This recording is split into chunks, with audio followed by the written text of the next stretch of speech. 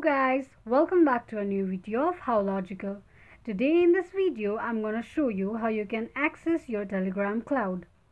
To access your Telegram cloud, firstly, open your Telegram application. The home page of Telegram with the chat list will be appeared on the screen.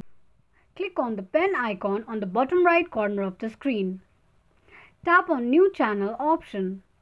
On the next page, give it a name. Let me name it as a file storage. You can also provide a description to the channel but it's optional. After entering the name, click on the tick mark at the top right corner of the screen. Click on the second option for channel type that is private channel and then press on tick mark at the top right.